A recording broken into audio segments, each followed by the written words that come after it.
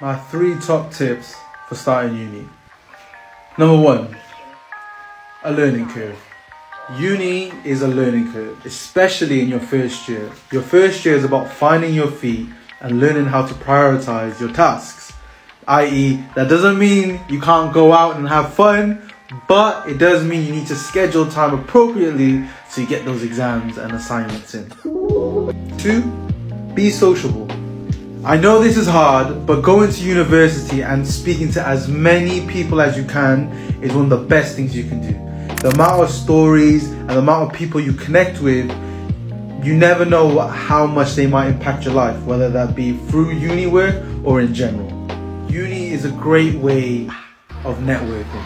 Believe it or not, whatever degree you do or whatever social degree you do, it's a great place to learn from others and speak to like-minded people like you and it's a great place to make friends, lifelong friends. So talk to many people as possible. Never be afraid to ask for help. Your tutors, your teachers, and your lecturers are all there to help you. So if you're ever finding something hard, ask, okay?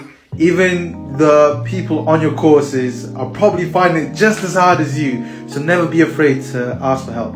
Still struggling with the adjustment of uni life and the uni lifestyle in general. Meic Cymru is a service dedicated to helping young people.